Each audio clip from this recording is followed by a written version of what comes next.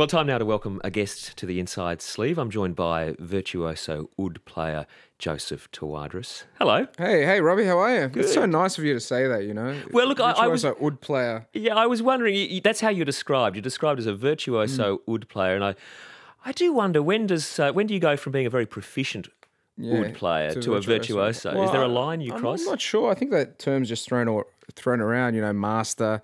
You know, virtuoso. It's whatever. It's just a player, really. It's just another word. Beef it up. Yeah. You know, but you got to you got to add the rhetoric. What you, got to do. That said, you do get recognised around the world as uh, one of the great players of this particular instrument. Yeah, well, it's, it's a, I guess it's a privilege and, and an honor that it's uh, yeah that that's bestowed upon me. You know, so it's um yeah it's great. I just I, I'm just doing what I love and, Yeah. and very passionate about the oud and and Well, well, let's talk about the instrument for for a little Yep. while. It's uh, you know you, you're cradling it on your lap at the moment. It's essentially a, a lute, isn't it? Yeah, well, it's it's the ancestor of the lute. So basically, the uh, the lute comes from the oud, and then the the the guitar becomes uh, from the guitar comes from the lute. So Yeah. it's a very historically significant instrument. And the word lute, I explained it probably a gazillion times, but uh, the word lute comes from al oud. So ud, lute, very similar words. And, and it actually used to be a hieroglyphic symbol. in- Yeah, that's right, In, Nefer. ancient, in ancient Egypt. yeah, the hieroglyphic uh, letter is nefer, and uh, yeah, you see it on reliefs and, and stuff like that. Again, very historical and very uh, beginning of time stuff. here. Yeah. You were born in Egypt. You came to Australia very young, when you were only three. Uh, was it always going to be the oud that you would play? No, I, I wanted to play trumpet actually. That was because my uncle was a great trumpet player in Egypt, so I really wanted to play trumpet. And then I, I came across the oud in a in a movie, in an old Arabic movie, and I just fell in love with it. And um, you know, I, The I- look or the sound? well, the sound and the, well, the, the movie was very glorified. It was about an Egyptian composer, so it's quite glorified in the way they made him appear, and um, maybe that attracted me. But um, yeah, I, I then found out that my grandfather was a great oud player in Cairo, and you know, mixed with all the nostalgia and the stories, you know, I was really keen to learn it, and uh, I fell in love with it. I'm still in love with it, which is great. Well, what you've been doing with the oud is what is so exciting. You can obviously play it as a single instrument, and we're about Mm-hmm. to hear that. But you have this uh, great fascination with trying to slot it into all these new musical landscapes that generally aren't considered the natural home of an instrument like the oud. Yeah, well, I- think it, it, it comes from my uh, my interest of music and the love for the instrument. You know, it's uh, it's keeping myself fresh and, and challenging myself. So I, I listen to all the players that I, I collaborate with, and I love them as players and I love them as you know CDs in the car or something to, Yeah. to listen to them. So it's a real privilege that I get the chance to play with them. And, Yeah, and well, you, well, we'll talk about that because you've, you just recently you've played with some incredible Yeah. musicians in the states. Of course, uh, you also played with the Australian Chamber Orchestra recently. Uh, a fairly broad range. Of Mm-hmm. So music. I've been very lucky to get those platforms, but that's all through really, uh, you know, the love of the instrument, the love of music mixed in with a bit of luck, and Yeah. and um, you know the way uh, the world brings people together. All right. Well, let's take a little listen to it because it, it is a beautiful sounding instrument with other players, but also when you strip it back just to its own Mm-hmm. uh, individual self, um, something quite extraordinary too. What would you like to play for us? Um, I'll, I'll- I'll play a uh, a piece which is originally a duet for and double bass. Uh, it's a piece called Give or Take. It's kind of a, a faster faster tune, so we'll see if I can uh, uh, be up to the challenge. So here it is. This is Give or Take.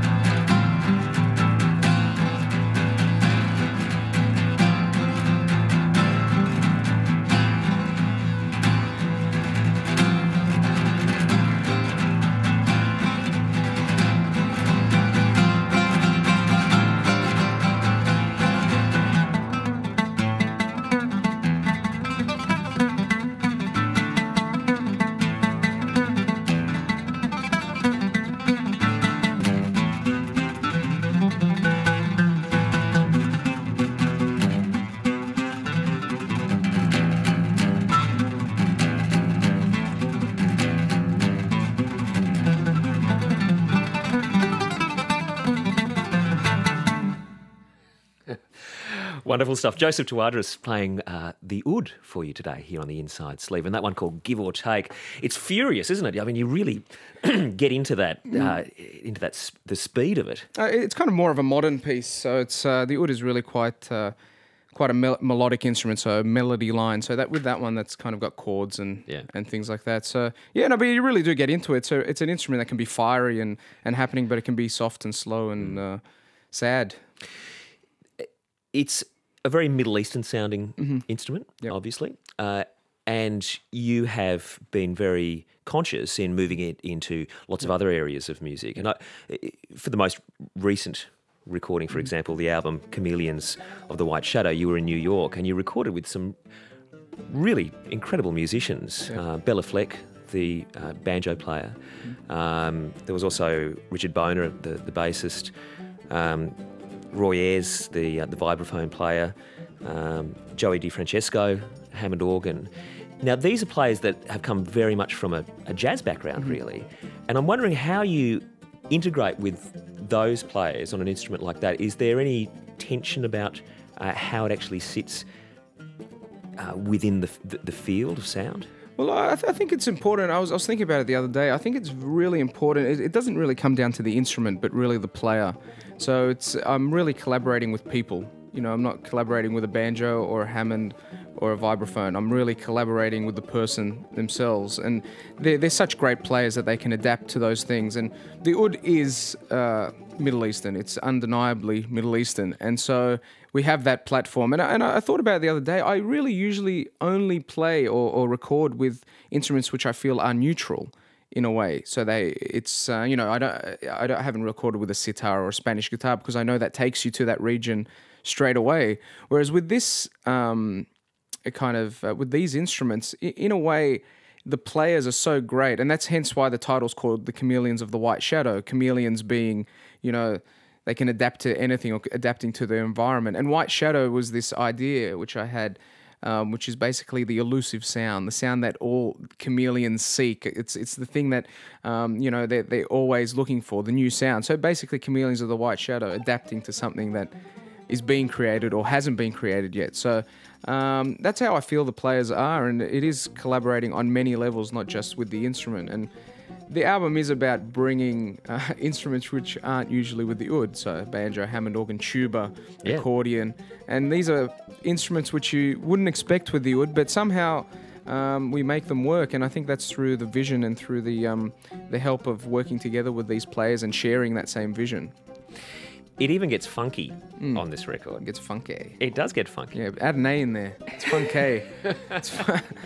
That's, uh, which you don't expect from from the oud. I mean, are, are, are there precedents, or are you? no, well, that's the idea. You know, it's um, it's also working to people's strengths as well. You know, you get these players and you listen to them and you know them back to front. You know, when you listen to their music and, and watch them play. So, um, you give them stuff that they're comfortable with, that stuff that challenges them.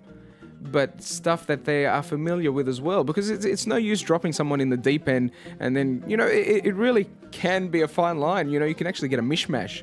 Really, if it's not planned well or done well. um, Exactly. I mean, you, you, you are know- look, you're looking right on the the verges of You're on the verges of, of disaster, actually. right, you're looking when you get precipice. Hammond organ and oud and trying to make it funky, well, you go, well, you're in territory there that you know people haven't gone there for a reason.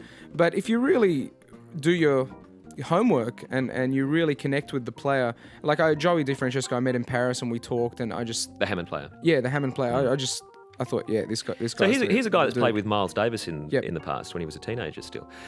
Uh, when you sit down to work out what you're going to do together, Mm. what's the negotiation? Well, I write the tunes, so I've got the tunes ready in mind. And I'll say, "This is so Joey. I know it, and and I can feel it." And so I send him the tunes, and then we just talk about it. And they're really into it. They're really into the idea. And and Joey had never been asked by anyone, like from a, uh, an ethnic, well, let's say ethnic, uh, some sort of ethnic instrument to play with. So he was really stoked. He was like, "Well, this is time to really show um, what he can do." So. Um, I, I think yeah, it's it's the player, the instrument, and and um, doing your homework of what they're comfortable with. Because if if you really give people stuff that they're strong at, the, the recording will be strong. And you know we adapt to each other and we inspire each other. And then when we get to the recording and rehearsal, we know what we're doing and we have a uh, an idea. And I think between us, I hope that we could probably uh, identify if it's a mishmash or not at the time. So um, no, but it was really great, and and from the first notes playing together, we knew it was on. So. Is there any area of music that you won't go into? I mean, or are there other areas of music that you're keen to go into, which are again even further out there on the edge? There's one area I probably won't enter again. That was improvised punk. Well, I think a lot of it is, but um, and yeah, I don't know if I'd venture into that again because there was a lot of feedback and stuff like yeah. that. A bit, a bit of craziness. And, but you're uh, interested in uh, in heavy metal. Yeah, yeah, I, I, love that sort of stuff, and I'm at the moment trying to. Uh, hound a couple of big big dudes into getting together because a lot of those heavy metal dudes are playing Middle Eastern scales and they're shredding the hell out of it. And you know, I'm uh, I'm I'm a bit you know not prone to uh, shredding, so um yeah, I needed a shred album. About about time I had a shred album, but um. No, yeah, I, am really interested in that medium, but of course, for the oud to maintain its its integrity mm. in sound, you know, that's the most important thing, not to lose or put it through a pedal and make it, you know, so foreign. So, I think it's all about collaborating with maintaining the integrity of the oud. So um, if we can make it happen and try and, and work it out, we'll see. But that one I think could be close to the uh, the disaster. I don't know if ABC will be playing that on classics. Joseph, uh, thanks ever so much for your time today. It's oh, been, been great. Thanks, Robbie. It was great. Can we get maybe just one more song from you? Sure.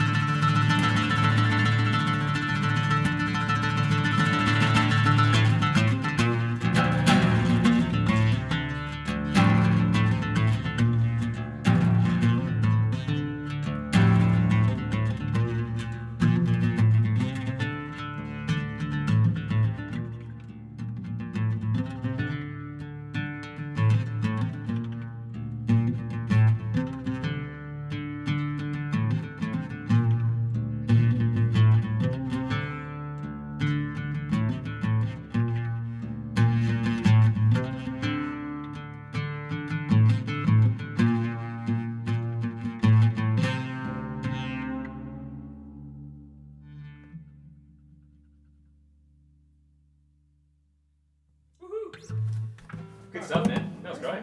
Thank you. What was the name of that second one? Work. W O R K. The Inside Sleeve with Robbie Buck on RN.